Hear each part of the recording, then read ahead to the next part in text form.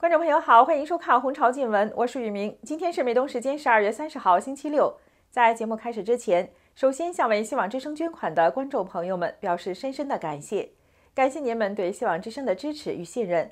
我们会一如既往的传播真相，使更多的观众朋友们及时了解真相，在这时代更迭的岁月中做最正确的选择。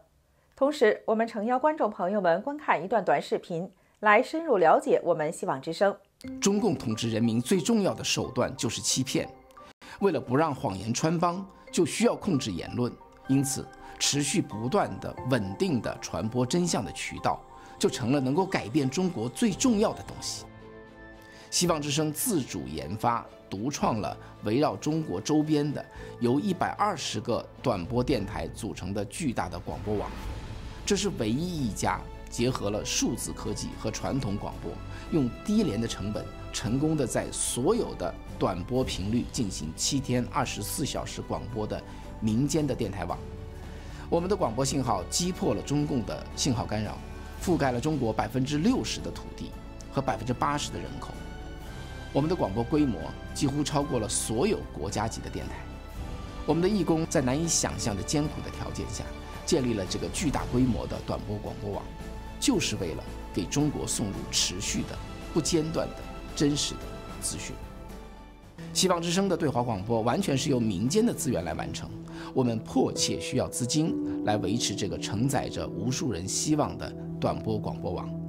您只要捐助二十美元，就可以给全中国五分钟的真相，聚沙成塔，众志成城，撕开空中的铁幕，启发中国的明智。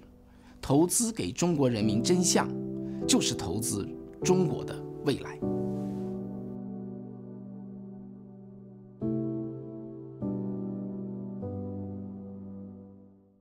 如果您对我们的故事感兴趣，欢迎点击留言区的链接了解更多。好，下面一起来看这期新闻节目的详细内容。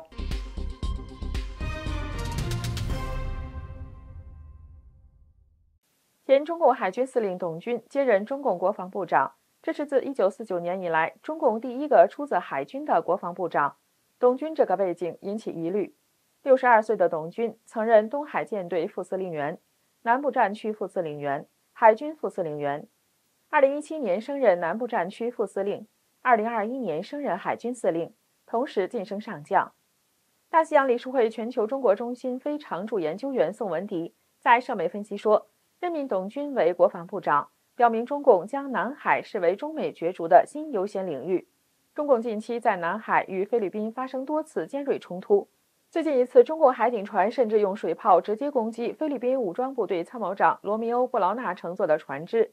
菲律宾驻美大使罗姆德斯本月中旬警告说，下一场可能引爆世界的大战冲突热点不是台湾，而是南海。走出美国的前中国海军司令部中校参谋姚成近来一直在社媒警告说，中共可能会对菲律宾掌控的黄岩岛等岛礁动手，给菲律宾点颜色看看，也防范周边国家效仿菲律宾站队美国。另外，菲律宾与美国的军事协议不包括有争议的南海岛礁，中共也想试探美国出兵的红线究竟在哪里。东军出任国防部长，再度让南海响起警讯。不过，军事研究员龚林东对自由亚洲表示，判断董军上任是否要准备战争，似乎言之过早。中共的国防部长更像是装饰性的职务，实权不大。关于战争性准备的问题，更主要是观察军委副主席的人选比较妥当。龚林东提到，董军是一个值得关注的背景，他是山东烟台人，他还深受海军司令吴胜利的赏识和栽培。在中国党魁习近平担任中央军委主席十年期间，也受到特别的栽培和提拔。有观察人士认为，彭丽媛是山东运城人，因此与官场山东帮联系起来。例如，祖籍山东运城的现任政治局委员马兴瑞，获中共党魁重用，一直就传与彭丽媛的关系密切。因此，上报曾发表署名杜正的文章，推测中共内斗到最后，中共党魁习近平可能只相信夫人。彭丽媛可能走上江青的老路，成为中共党魁习近平晚年内斗的幕后要角。最近有传言说，马兴瑞可能接管中共中办，如果属实，加上董军以及山东人北京书记尹力、山东省委书记出身的中组部长李干杰等人，有观点认为，彭丽媛的山东帮正逐渐掌权。除此之外，宋文迪还提到，中共通常愿意从火箭军和总装备部等相对技术性机构挑选国防部长，这次放弃这一做法，改从海军选人，这可能是一个迹象，证明火箭军和装备发展部仍然在大清洗和调查当中。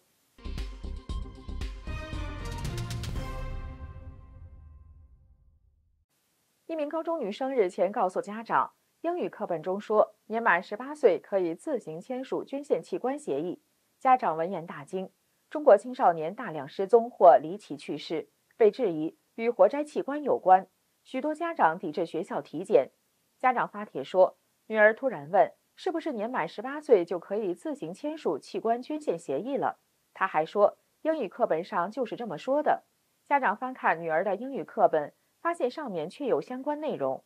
课本是二零二三年新版高中英语选择性必修教科书的第二册，由外语教学与研究出版社出版。书中一段课文里描述，一名上海高中生自述，在上大学前刚好年满十八周岁，他非常自豪地表示自己可以捐献器官了。他准备在不征求父母意见的情况下签署捐献器官的协议书。课本截图传到网上。许多网民痛斥中共的阴险与无耻，邪恶至极。家长都不需要有知情权了吗？去年的江西中学生胡鑫宇失踪案，让全国民众了解到各地青少年密集失踪的原因。之后，许多家长抵制学校的抽血体检，并拒绝捐献器官。近日，广州松田职业学院一名校园歌手，曾在校运会获奖的健康男生王宇杰突然昏迷，仅仅两个多小时后就被送往殡仪馆。校方没有送医抢救，还瞒着家长迅速火化，网民纷纷质疑，这是不是又一个胡鑫宇呢？对此，希望之声记者三十号采访了台湾营救协会副理事长管建中。关建中先生表示，中共当局利用孩子的无知和单纯，鼓励他们捐器官，不合常理。一个国家或者是一个社会团体。他不会去学校找一刚有行为能力的学生去劝募器官，而且也不会在一个课本里头哈，就直接教导他可以捐献器官。在民主国家，不会去找这么年轻的。很多社会的机构在做，尤其在台湾，但是不会告诉你去捐，叫你去写这个东西。关建中先生说，国际社会都知道中共在非法活摘人体器官。中国呢，在活摘器官、在器官移植上，它现在在国际间受到很大的谴责。医学界、医学杂志都不用中国大陆器呃器官移植医生的手术资料加入到文献里头，像《柳叶刀》杂志就不采用了。中国的移植器官是一个。黑色的、不透明的，而且很明显的、很不道德的在进行这些事情，所以这个国家他用英文课本渗入到学生里面去灌输他们这个观念，非常可疑啊。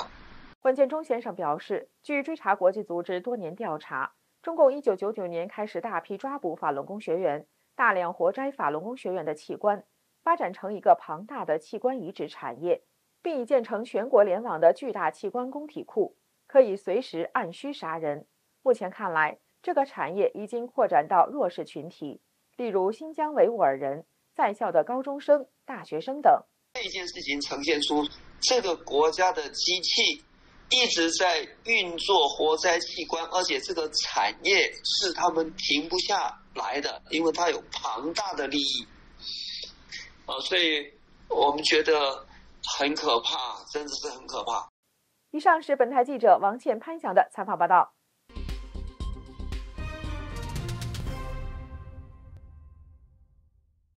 二零二四年台湾总统大选电视辩论会三十号下午登场，在辩论会第三阶段，民众党总统候选人柯文哲先批评国民党总统候选人侯友谊靠中共帮忙做造假民调，他反问：为什么共产党这么支持你？接着又质疑民进党总统候选人赖清德是台独，对此赖清德反驳称，台湾社会对于所谓的台独是主张台湾主权独立，主权完全属于两千三百万人民，不属于中华人民共和国，而且中华民国与中华人民共和国不是互相隶属的关系。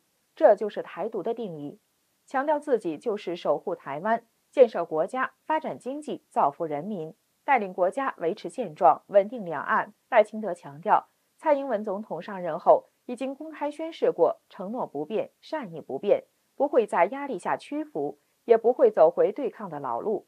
过去前总统李登辉、陈水扁、马英九与中国签署的各项协议都不会改变。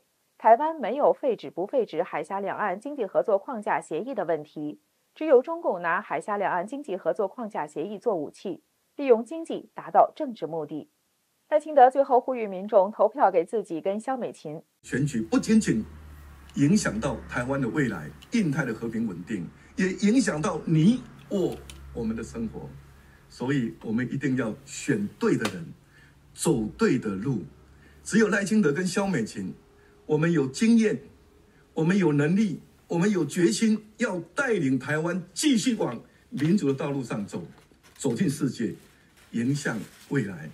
敬请大家能够支持二号，一月十三号一定要出来投票。二号美德赢台湾，也敬请大家能够支持民进党所推荐的民主大联盟优秀的立委候选人，政党票能够支持六号民主进步党。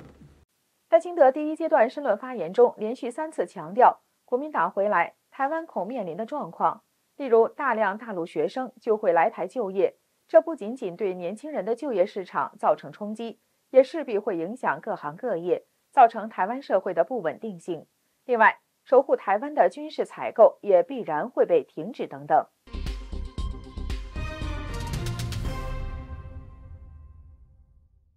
中共前总理李克强的女儿，还有中共前总书记胡锦涛的女儿的生活经历，都让人看到了党性扭曲人性的烙印。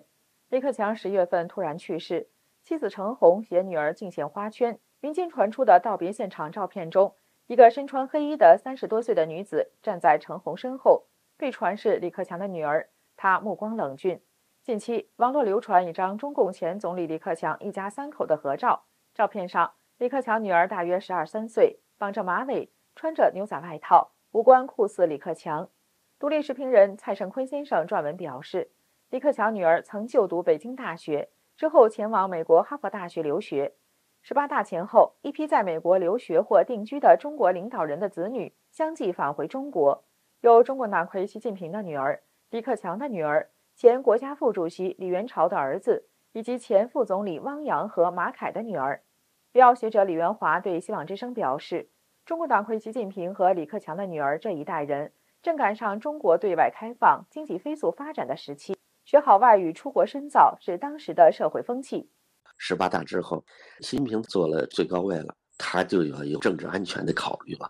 他就要中共所有高官的留学的孩子要回国，他就会想象按中共那种逻辑，就怕自己的家人被所谓的美帝或者其他的人啊如何如何，这个完全是他的一个想法。这个时候就不考虑孩子了。李克强的闺女也是在这个风潮过程中从海外留学回国的，也未必是自己说如何如何啊。虽然他可能有很多特权，但是像最基本的人伦的这种美好，孩子可能在成长过程中体会的非常少。尤其在一些重大的人生抉择当中，你都看不到那种父爱，只能看到一种屈从于中共集体意识和这种党文化允许的一些行为。就是说，他的党性，这个时候他就维护他这种党的光辉形象。另外，中共前总书记胡锦涛有一儿一女，女儿胡海清，一九八九年到一九九三年就读于清华大学，毕业后，胡海清要出国攻读 MBA，胡锦涛坚决不同意。有文章介绍。为此，父女二人大吵了一顿。女儿无奈，只好在上海找了一份工作。半年后，胡海清利用单位外派的机会，瞒着家里人来到了比利时，准备在比利时攻读 MBA。父亲得知消息，大发雷霆。胡海清迫不得已回国。一九九八年，胡海清与新浪前 CEO 毛道林相识相恋。胡锦涛得知后，又是大发雷霆，坚决不准。后经劝说，胡锦涛不得不同意了他们的恋爱关系。但要求毛道林退出新浪。对此，李元华指出，中共官员分两类，一个就是中共的红一代的后代，那些人呢，天生有一种优越感。再一个，就像胡锦涛、李克强这种没有太多家世的，他在中共党内被某些中共官官看上、提拔上来的，这些人活得谨小慎微。呃，因为你被提拔的时候，过去你的领导居然变成你的下级了，所以这些人不希望让那些嫉妒自己的人呢去抓住把柄。胡锦涛的闺女几次想出国留学的。但胡锦涛都不同意呢。孩子结婚以后，他又怕自己受牵连，必须让这个女婿就退出经商的权。他就怕让他的政敌抓住把柄攻击他。李元华解释说，胡锦涛虽然地位高，但是他没有权。他在政的时候就是政令不出中南海，军队是江泽民把持的。这些人在升迁的过程中啊。就已经这个默认了共产党这些处事的原则，所以他们也就在逐渐的丧失人性。党性越强，等于他越丧失人性。比如说，正常人希望自己有更好的教育，有有自己的一个追求，在共产党体制里边，他要服从于党的利益，所以他不像一个正常人的一个父亲了。以上是本台记者王潇的采访报道。在节目结束之前，和大家分享一个小故事。我们的观众朋友蒋先生日前捐给希望之声一台福特车。